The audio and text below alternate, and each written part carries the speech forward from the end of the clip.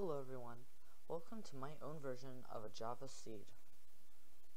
So basically how this works is, so the user gets to choose a seed, and that basically returns this so that this class can actually use it. So basically it generates a random number, but that's obviously going to be random every single time.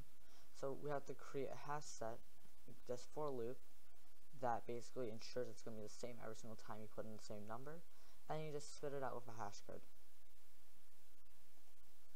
Let's use the number 7722.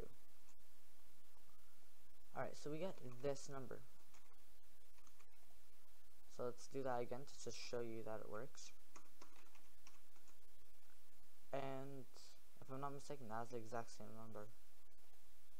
So this works with other numbers as well. Let's do like four four five five. Or something. Like it doesn't even have to be like four digits. Like look we can like put in like 999234 and we get this a negative number. What was it like ooh I've never did this sorry 999234, right?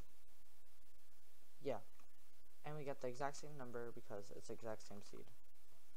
So that's my demonstration of seeds in Java.